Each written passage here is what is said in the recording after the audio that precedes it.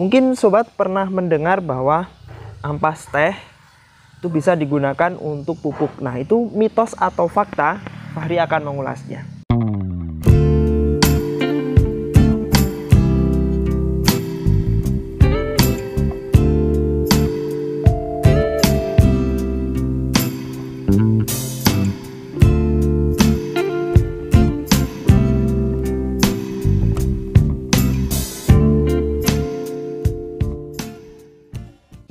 Kali ini Fahri akan bagi tips bagaimana supaya anggrek sobat sekalian akarnya panjang seperti ini ya. Nah, tips ini mitos atau fakta? Fahri akan mengulasnya.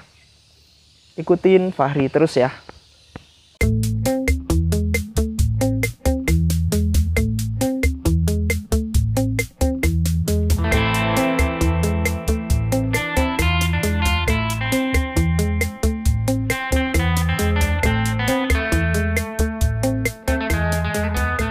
Hai sob, Fahri di sini dan sobat di sana. Meski jarak kita jauh, tapi kita masih bisa saling berbagi ya.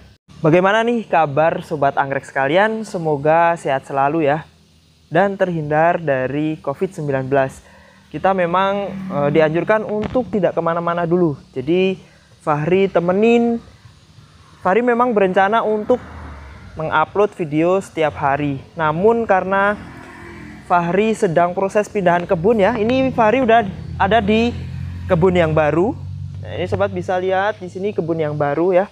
Tapi belum 100% ya, masih 70% proses pindahnya.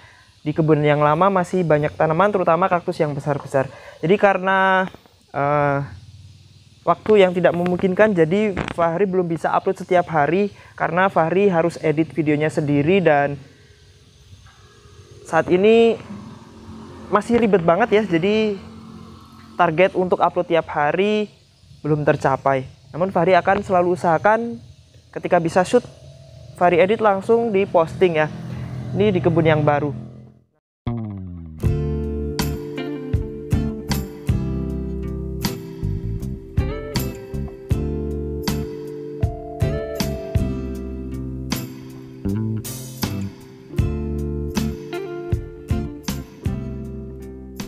Fahri di kebun baru ya. Jadi masih belum tertata semua karena masih proses pemindahan baru 70%. Nah, target Fahri bulan April ini selesai untuk pindahan ya. Jadi nanti ketika bulan Ramadan sudah selesai. Jadi bulan Mei sudah 100% aktivitas di kebun yang baru ini. Fahri kali ini akan bagi tips yang mungkin sobat sekalian uh, tidak asing dengan tips ini atau pernah mendengar ya. Dan mungkin bagi beberapa sobat anggrek tips ini tidak disangka-sangka atau tidak pernah terfikirkan sebelumnya. Ya. Teh ini ternyata selain menyehatkan untuk kita, ampasnya juga bisa menyuburkan anggrek. Nah, mungkin sobat pernah mendengar. Nah, ini sobat bisa lihat ini anggrek oncidium. Anggrek oncidium. Akarnya gondrong ya sampai keluar-keluar dari pot. Nah, akar yang bagus, akar yang banyak salah satu indikator bahwa tanaman sobat anggrek sekalian tumbuh dengan baik dan juga subur. Ketika akarnya banyak, nanti dia akan mendapat unsur hara yang banyak karena tugas akar adalah mencari makanan entah itu dari media atau dari udara dia menangkap unsur hara yang disalurkan ke seluruh tubuh. Sehingga nanti bunganya pun juga akan banyak ya otomatis. Nah.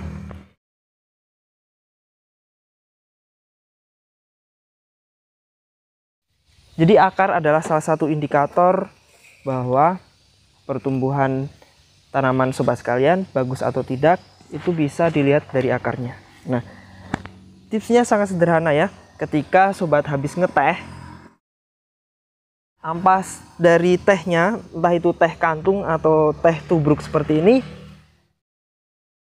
bisa dimanfaatkan untuk pupuk anggrek sobat sekalian. Nah, jadi memang teh bekas ini bisa atau baik digunakan untuk pupuk anggrek karena ampas teh ini banyak mengandung unsur makro maupun mikro yang dibutuhkan untuk pertumbuhan tanaman seperti magnesium, kemudian mangan, seng, kemudian ada vitamin B1 dan juga B2. Daun teh mengandung asam amino yang banyak berpengaruh dalam hal ini adalah alanin, fenilalanin, velin, leusin, dan isoleucin. Seluruh kandungan protein dan asam amino bebas adalah 1,4 sampai dengan 5% dari berat kering daun. Vitamin yaitu vitamin C, K, A, B1 dan B2. Unsur mikronya magnesium, kalium, fluor, natrium, kalsium, seng, mangan, kuprum, tris mineral atau selenium. Ampas teh ternyata dapat bermanfaat bagi tanaman, yaitu dapat memperbaiki kesuburan tanah, merangsang pertumbuhan akar, batang, dan daun. Limbah rumah tangga ini dapat digunakan langsung tanpa harus diolah lagi. Selain itu, kandungannya, kandungan dari teh ini adalah vitamin B kompleks kira-kira 10 kali lipat sereal. Kemudian kandungan dari daun teh ini adalah vitamin B kompleks kira-kira 10 kali lipat dari sereal dan sayuran. Wow, ternyata vitamin B kompleksnya sangat banyak ya. Kemudian juga mengandung karbon organik, tembaga 20%, magnesium 10% dan kalsium 13%. Kandungan tersebut dapat membantu pertumbuhan tanaman.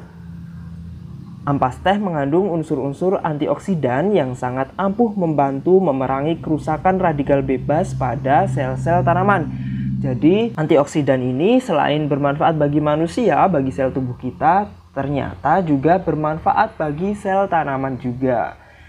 Nah, jadi mulai sekarang kalau sobat anggrek punya ampas teh, selain tehnya menyehatkan, ampasnya menyuburkan. Jadi jangan dibuang ya bisa diaplikasikan ke anggrek. Entah itu anggrek atau juga bisa untuk tanaman hias lainnya. Nggak cuma tanaman hias sih, bisa juga untuk tanaman buah, tanaman sayur. Pokoknya semua tanaman ya. Jangan dibuang ke sampah. Bisa diaplikasikan ke tanaman sobat sekalian. Luar biasa ya.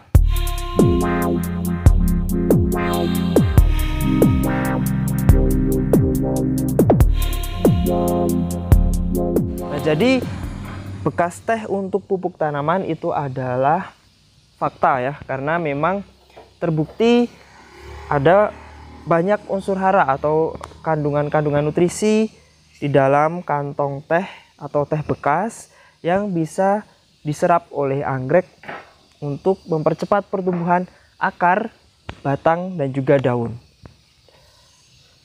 Tapi tidak untuk merangsang bunga. Jadi hanya untuk pertumbuhan akar, batang, dan juga daun. Nah, ketika akar, batang, dan daunnya tumbuh dengan baik, sehat, otomatis nanti akan berbunga ya.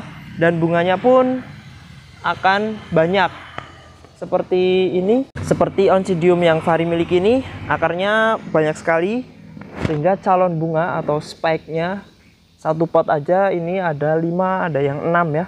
Jadi calon bunganya nanti akan banyak. Sobat bisa bayangin nanti ketika mekar bareng akan sangat ramai.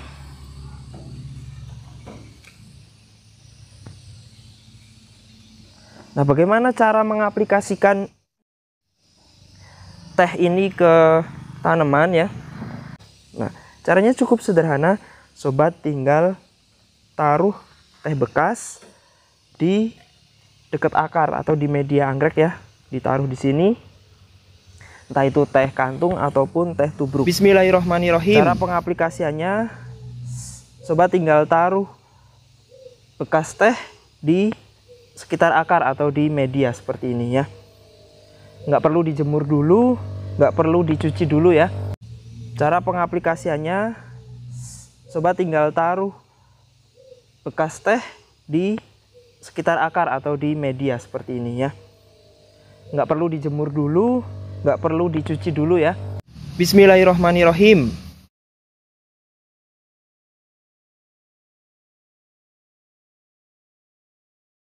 Bismillahirrohmanirrohim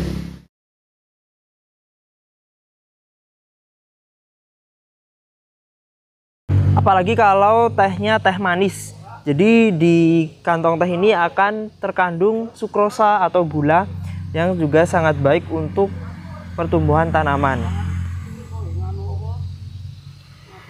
Jadi teh kantung ini untuk pupuk anggrek itu adalah fakta. Teh menyehatkan, ampasnya menyuburkan. Sobat bisa mencoba di rumah. Semoga tips ini bermanfaat. Sampai jumpa di video selanjutnya.